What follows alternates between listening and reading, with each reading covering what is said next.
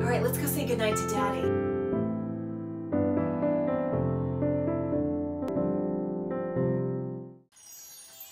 We need a new car. Extra, extra, don't you worry. This place is extraordinary. Cookies, cola, coffee, cake. Everything is free to take, so come on and let's find your ride. If you're a lawyer in Georgia or you know a lawyer suffering from depression, there is help. Getting help means saving lives.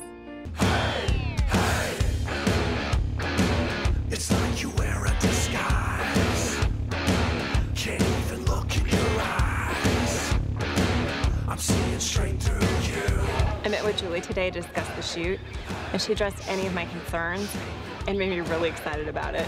She creates a relaxed atmosphere with music, a little wine, and we laugh the whole time.